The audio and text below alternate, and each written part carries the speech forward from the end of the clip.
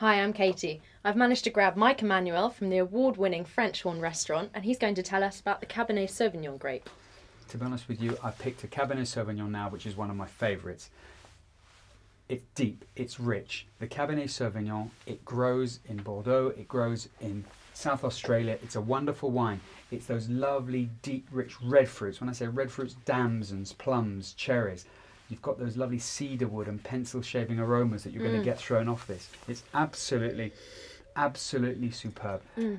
This is one of the greats. It comes from Bordeaux. That's where the great Cabernet comes from. But now they're producing great Cabernets all over the ro- all over the world. This, to me, mm, it's big, it's rich, mm. it's intense. If you enjoy wine with lots of tannin, this is it.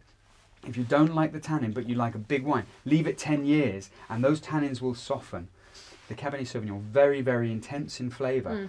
And the skins, they add that intensity of tannin. But it does soften. If you're patient, you're going to get a lovely, soft wine.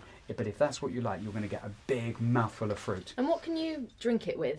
To be honest with you, get this. Is, this is for the biggest and the most intense meats. This is this is for those lovely big big Sunday lunches. Your roast mm. beefs, your roast lamb. This is this is the wine that you want to enjoy when you're sat there with your family, with your good friends. This is the wine when you're in for an afternoon, when you're in for a lovely big dinner. Cabernet Sauvignon.